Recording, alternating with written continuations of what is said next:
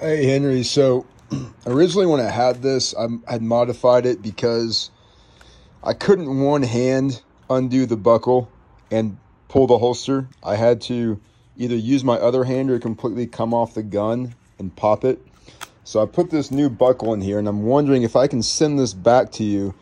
Can can you put me a button in there for this to snap onto with a longer leather strap and and take this original strap and, and put it back where it was and that way let's say that I'm I'm going on a on a mission and um,